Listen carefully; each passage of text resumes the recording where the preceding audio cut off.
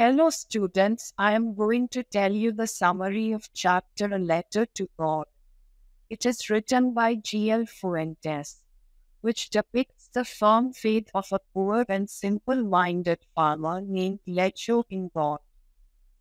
Lencho was a poor yet dedicated farmer. He was hoping for a decent harvest. To his dismay, a hailstorm suddenly destroyed all his crops and the harvest completely. Seeing the damage, the poor farmer was taken aback and felt sad. However, he had a strong faith in God. He was a learned man who knew how to read and write. Due to his straightforward nature, he was certain that God would definitely help him. Thus, he decided to draft a letter to God while addressing his financial concerns to him. In the letter, he requested God to send him 100 pesos to sow his fields again and save his family from starvation. Soon he wrote a letter and went to the post office. He placed a stamp on the letter and dropped it into the mailbox. When the postman took out the letter from the letterbox, he laughed heartily after reading it. He immediately rushed to the postmaster and showed him the strange letter. The postmaster read the letter but laughed out loud when he noticed that the letter was addressed to God. However, he was also moved by the faith of the farmer.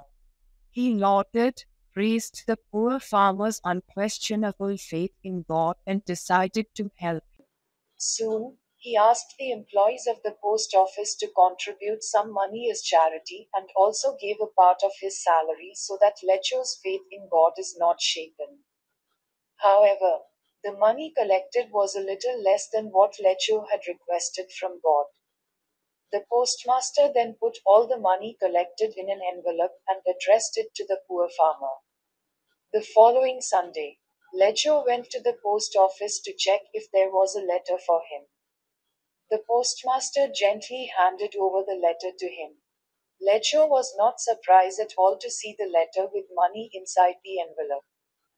He confidently opened the envelope to count the money but became angry when he saw that there were only 70 pesos in it. He was sure that God could have never made such a grave mistake. He instantly went to the window to ask for paper and ink and wrote another letter to God, and dropped it into the letterbox. When Lencho had left the place, the postmaster opened and read his letter immediately.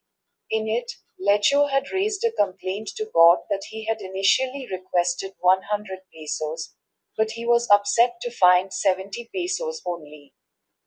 Furthermore, he criticized the post office employees and felt that they must have stolen the remaining 30 pesos from his envelope. He urged God to send him the rest of the money since he was in urgent need of it. However, he requested God not to send the money through the mail because Lencho thought that the post office employees were a bunch of crooks who might have stolen the remaining money from the envelope. Conclusion of a letter to God in the chapter A Letter to God. We learned that faith in God has the power to move mountains and satisfy our needs.